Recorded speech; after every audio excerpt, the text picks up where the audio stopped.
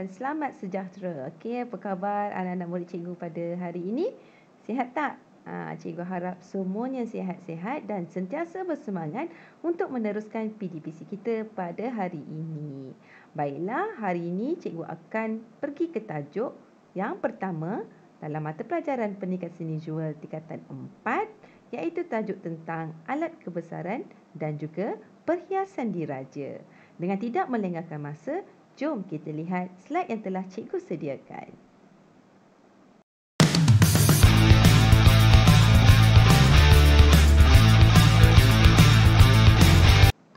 Baiklah, pada hari ini kamu akan pelajari tentang bidang sejarah dan apresiasi seni visual pendidikan seni visual tingkatan 4.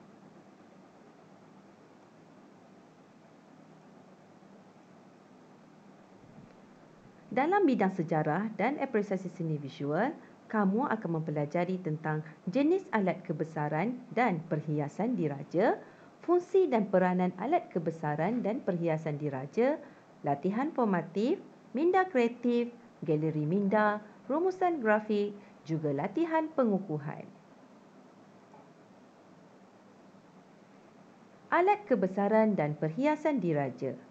Malaysia mengamalkan sistem raja berperlembagaan dalam demokrasi berparlimen. Berdasarkan sistem ini, ketua persekutuan ialah Seri Paduka yang di-Pertuan Agong dan ketua negeri pula digelar sama ada sultan, raja, yang di-Pertuan Besar atau yang di-Pertuan Negeri. Institusi beraja ini merupakan kesinambungan daripada warisan Kesultanan Melayu. Oleh itu, terdapat alat kebesaran dan perhiasan diraja yang masih diguna pakai dalam majlis atau istiadat tertentu. Peralatan dan perhiasan ini merupakan warisan bangsa yang diperlu diketahui oleh generasi pada hari ini dan akan datang agar mereka lebih menghormati institusi ini. Baik, Sebelum kita mempelajari lebih lanjut, elok sekiranya kita mengetahui standard kandungan. Standard 1.1 Pemahaman terhadap alat kebesaran dan perhiasan diraja 1.2 Eksplorasi maklumat daripada pelbagai sumber bagi pengukuhan terhadap alat kebesaran dan perhiasan diraja 1.3 Penzahiran idea dan konsep melalui pelbagai sumber dan teknologi dalam penjanaan tugas. Standard kandungan 1.4 penghayatan terhadap model, alat kebesaran dan perhiasan diraja dengan menggunakan bahasa seni visual dan pemikiran seni visual. Mari kita lihat persepsi seni. Institusi beraja di Malaysia mempunyai pelbagai jenis alat kebesaran dan perhiasan diraja yang menjadi simbol kedaulatan raja dan negeri yang diperintah. Setiap negeri mempunyai alat kebesaran dan perhiasan diraja yang berbeza. Alat kebesaran dan perhiasan diraja ini direka dengan keunikan tersendiri dan dijaga rapi sejak dahulu hingga ke hari ini. Mari kita lihat tentang alat kebesaran dan perhiasan diraja. Cikgu harap semuanya telah bersedia. Jom. Alat kebesaran diraja. Alat kebesaran diraja ada beberapa jenis. Peralatan ini menjadi simbol dan keagungan warisan Kesultanan Melayu sejak berkurun-kurun lamanya. Berikut ialah alat kebesaran diraja yang digunakan oleh Seri Paduka yang di-Pertuan Agong dan Raja Permaisuri Agong dalam upacara rasmi. Alat kebesaran diraja yang pertama adalah cogan alam. Cogan alam merupakan sebatang tongkat yang diperbuat daripada perak dan berukuran 162.66 cm. Alat kebesaran ini mempunyai struktur bulatan pada bahagian hulu, di atas bulatan tersebut terdapat ukiran bulan dan bintang daripada emas. Dan di sekeliling bulatan itu pula terdapat lambang sebelas buah negeri tanah Melayu daripada emas. Bulatan tersebut ditanggung oleh empat ekor harimau yang berdiri. Batang tongkat ini dihiasi dengan motif enam tangkai padi yang diperbuat daripada emas. Seterusnya adalah cogan agama. Cogan agama merupakan sebatang tongkat bulat berhulu besar yang diperbuat daripada perak. Okey, panjang tongkat ini ialah 155.04 cm. Okey, kamu boleh tengok dalam kerujukan kamu. Di bahagian hulu tongkat terdapat ukiran anak bulan, okey kat sini anak bulan dengan bintang pecah lima yang diperbuat daripada emas. Okey kat sini tengok ada ada bintang dengan bulan, okey bintang pecah lima. Pada batang dan hulunya diukir dengan ayat-ayat suci Al-Quran. Seterusnya, cokma. Cokma merupakan dua batang tongkat pendek yang diperbuat daripada perak. Setiap satunya mempunyai ukuran 81.32 cm. Pada bahagian hulu, cokmar ini berbentuk kubah. Alat kebesaran ini berfungsi sebagai alat perang pada zaman dahulu. Seterusnya, keris panjang diraja. Keris panjang diraja merupakan keris utama dalam istiadat pertabalan. Bahagian hulu sehingga ke sarung keris ini disalut dengan emas. Di atas sampirnya diukir lambang kerajaan persekutuan dan lambang 11 buah rum, 11 buah negeri tanah Melayu untuk menunjukkan naungan dan kekuasaan yang di-Pertuan Agong ke atas negara Malaysia. Mata keris ini ditempa daripada besi wajah yang diambil dari sebelas bilah keris negeri di tanah Melayu. Bahagian hulu atau kepala keris ini berbentuk tapak kuda dengan motif buah jering. Ha, macam mana? Pernah jumpa tak keris ni? Keris panjang diraja. Okey. Ha, kebiasaannya keris ini diguna pada ada istiadat ataupun pertabalan.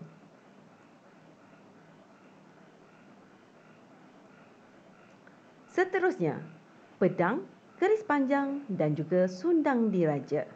Alat kebesaran ini merupakan tiga senjata Melayu lama yang diambil daripada mata pedang, keris panjang dan sundang zaman dahulu. Keris panjang dan sundang diraja disalut dengan perak.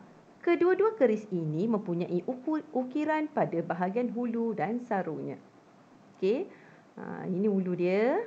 Okey, ini adalah sarung dia. Next.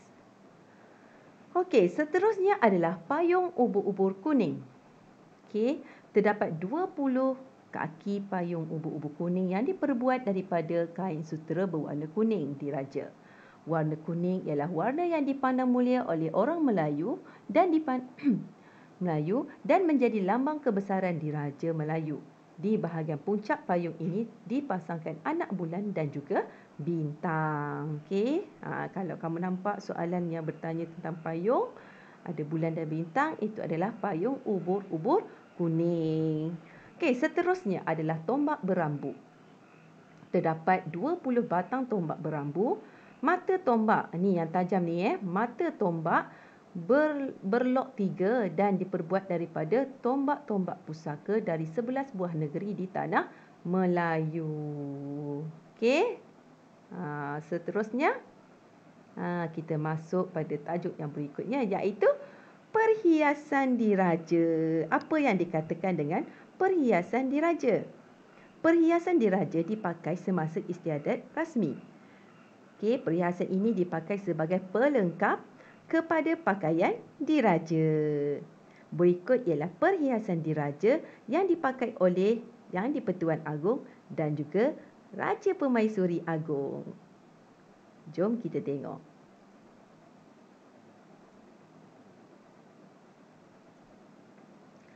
Yang pertama adalah tengkolok diraja. Tengkolok diraja ialah kain yang ditenun dengan sutera berwarna hitam dan bersulang benang emas. Bentuk solek pada hulunya dinamakan dedam tak sudah. Okey, yang kat sini solek. Okey, nama dia solek nama yang diberikan dendam tak sudah berasal daripada negeri sembilan. Pada bahagian hadapan tengkolok ini dipasangkan anak, bul anak bulan dan bintang pecah 14 yang diperbuat daripada emas putih. Okey, kat sini ada uh, ada tengkolok. Okey, dia panggil tengkolok. Kat bahagian tengkolok ni dipasang uh, emas putih uh, berbentuk bulan dan bintang pecah 14. Okey, di tengah-tengah bintang pecah 14 ini terletak lambang kerajaan persekutuan yang berwarna warni. Okey, ha, tengkolok diraja ni berasal daripada negeri sembilan. Seterusnya. Okey, seterusnya adalah masket. Iaitu pakaian rasmi Seri Paduka Baginda yang di-Pertuan Agong. Baju ini mendapat inspirasi daripada pakaian tradisi masket, Oman dan pakaian rasmi pegawai kerajaan negeri Kedah. Okey. Masket diperbuat daripada benang bulu berwarna hitam yang dijahit dengan sulaman benang emas. Okey, tengok kat sini. Ha, dia gunakan kain benang hitam. Okey, bulu berwarna hitam. Tetapi dia punya sulaman ni menggunakan benang emas. Okey, pakaian rasmi ini bermotif ragam hias awan larat. Ha, ni bentuk dia ni. Motif pada sulaman ni dipanggil ragam hias awan larat. Dan bunga raya yang melambangkan bunga kebangsaan Malaysia. Baju ini labuh hingga ke paras paha dan berlengan panjang. Pada kebiasaannya baju ini dipakai bersama-sama seluar panjang yang bersulam di kaki dan juga tengkolok. Seterusnya. Meskit. Meskit merupakan pakaian rasmi yang di-Pertuan Agong semasa majlis santapan malam beristiadat. Okey, kalau kamu nampak gambar macam ni, ah ni untuk makan malam ber istiadat. Okey, reka bentuk dan corak pakaian ini diolah berdasarkan masket yang di-Pertuan Agong. Pada bahagian kollar dan lengan terdapat motif ragam hias awan larat. Ha, tengok kat sini pun baju mas, baju masket ni pun ada motif awan larat. Dekat mana? Bahagian kollar dan juga bahagian lengan. Okey.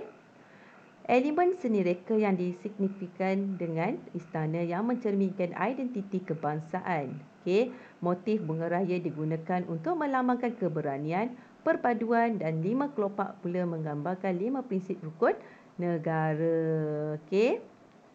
Seterusnya, mesket ini dipakai bersama vest, kemeja putih dan seluar panjang hitam yang mempunyai jalur keemasan pada bahagian tepinya.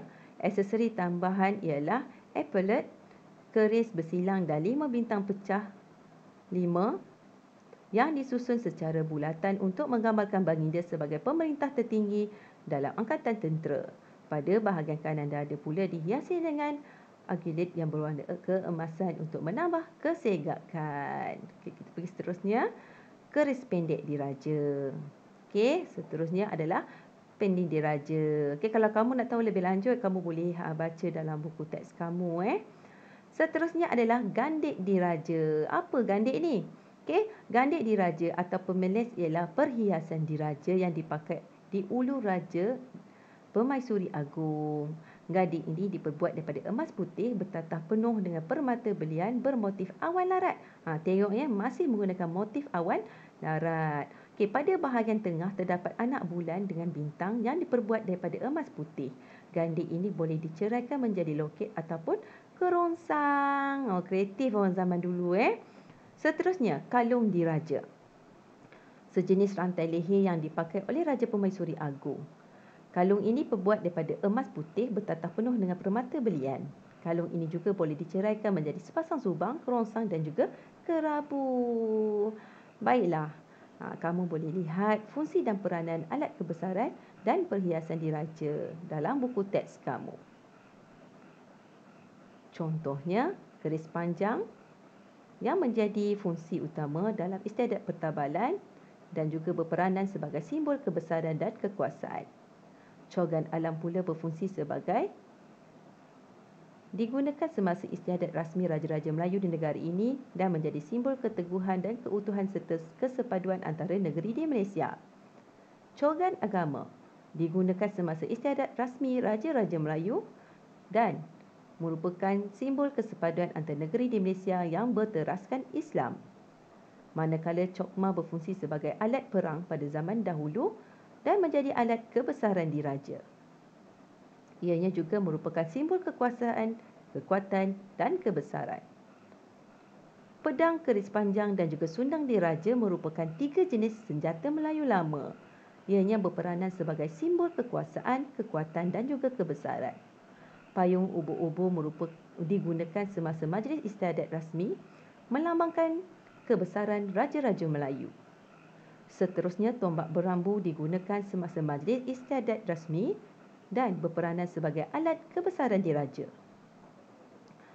Seterusnya, tengkolok diraja Ianya diguna pakai pada hari pertabalan, sambutan hari ulang tahun keputeraan, lawatan rasmi ke negeri-negeri Malaysia dan semasa perasmian pembukaan penggal persidangan parlimen.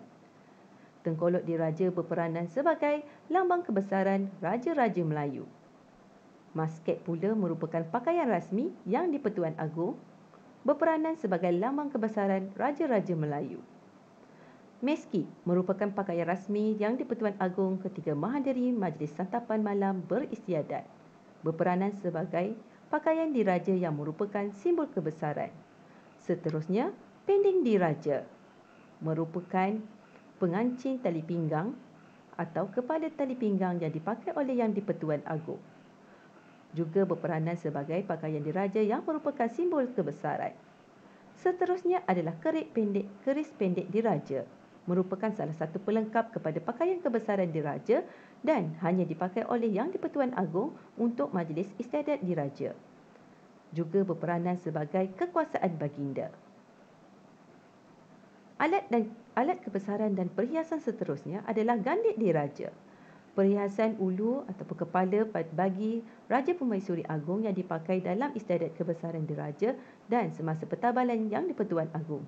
Ianya berfungsi sebagai perhiasan diraja dan simbol kebesaran. Seterusnya adalah kalung diraja iaitu sejenis rantai leher yang dipakai oleh Raja Pemaisuri Agong dalam istiadat-istiadat kebesaran diraja dan pada waktu pertabalan yang di-Pertuan Agong. Ianya juga berperanan sebagai perhiasan diraja dan simbol kebesaran. Baiklah, alat kebesaran dan perhiasan diraja berbeza antara negeri. Okey, Ha, berbeza antara negeri. Ha, kamu tahu tak berbeza antara negeri? Okay, contohnya, okay, ha, selain uh, negeri-negeri yang mempunyai mempunyai sultan ataupun raja juga memiliki alat kebesaran dan perhiasan diraja. Okay. Setiap alat kebesaran dan perhiasan diraja ini mempunyai fungsi okay, serta peranan tertentu.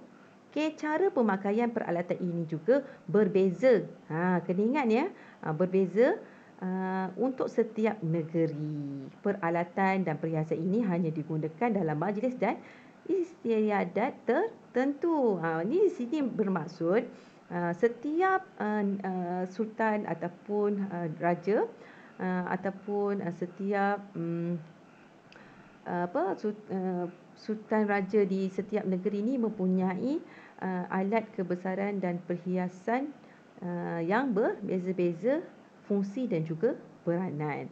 Okey, seterusnya kita pergi. Ha, okey, kamu boleh tengok dekat buku teks kamu uh, tentang contoh tengkolok, mahkota dan juga tanjak di raja. Ha, jom kita tengok sama-sama. Tengkolok di Raja Pahang. Okey, yang first ni adalah tengkolok di Raja Pahang menggunakan solet ha, kelongsong bunga, sekelongsong bunga. Okey, kalau kamu nampak gambar macam ni, okey, ha, ini adalah tengkolok di Raja Pahang. Ha, kat depan ni ada logo dia, okey, ada jata negeri Pahang. Seterusnya, tengkolok di Raja Negeri Sembilan menggunakan solet dendam tak sudah. Ha, kat belakang ni dia ada kain, okey. Ha, dia punya jenis lipatan ni dipanggil dendam tak sudah. Seterusnya tengkolok di Raja Selangor menggunakan solek setanjak balong raja ha, kat depan ni. Dia punya tengkolok dia dia menggunakan solek atau cari lipatan dia setanjak balong di raja. Seterusnya tengkolok di Raja Pelis menggunakan solek dendam tak sudah. Ha, sama eh. Ha, tapi kat depan ni dia punya jata negeri dia berbeza.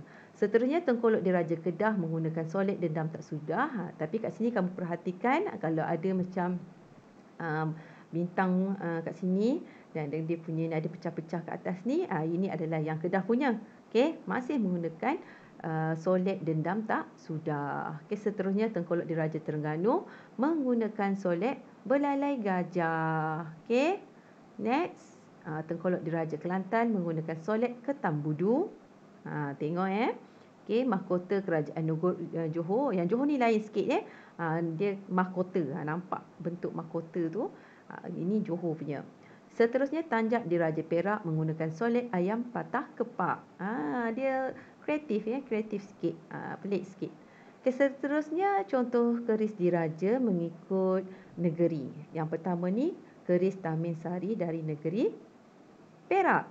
Yang kedua, keris pendek diraja Perlis. Seterusnya, keris Darjah Mahkota Johor, keris panjang beruk berayun Selangor. Okey, ha, ini antara contoh-contoh diraja, tiara ataupun gandik. Okey. Ha, kamu tengok dalam buku teks kamu ada tulis ni. Yang pertama mahkota tengku Ampuan Selangor, yang kedua Permaisuri Johor, yang ketiga Tiara Permaisuri Perak, seterusnya Tiara Tengku Ampuan Pahang, Gandik Permaisuri Terengganu, Gandik Raja Perempuan Perlis. Okey, setelah kamu ketahui alat dan perhiasan diraja, kamu perlu melengkapkan latihan formatif yang telah disediakan. Jawab semua soalan berikut. Yang pertama, apakah nama hulu keris pendek diraja? Soalan kedua, apakah perhiasan lain yang boleh dihasilkan daripada gandik diraja? Soalan ketiga, bagaimanakah cara pemakaian meskit? Soalan yang keempat, berikan tiga nama solat tengkolok yang anda tahu. Soalan kelima, mengapakah motif awan larat digunakan dalam penghasilan alat kebesaran dan perhiasan diraja? Yang keenam, mengapakah alat kebesaran dan perhiasan diraja digunakan dalam majlis-majlis tertentu? Buat latihan dalam buku latihan pendidikan seni visual kamu. Okey, sekian. Ah, okey, habis dah kelas kita pada hari ini. Okey. Macam mana? Ha, boleh faham tak apa yang cikgu ajar hari ni? Okay, kalau kamu tak faham, kamu boleh tanyalah cikgu. Okay? Okay, sebelum cikgu mengakhiri kelas kita pada hari ini, jangan lupa ha, tanda sokongan dan juga tanda hormati cikgu. Okay, jangan lupa like, share dan juga subscribe tanda sokongan pada Cikgu Ju Channel. Okay, semoga kita berjumpa lagi. Bye. Assalamualaikum.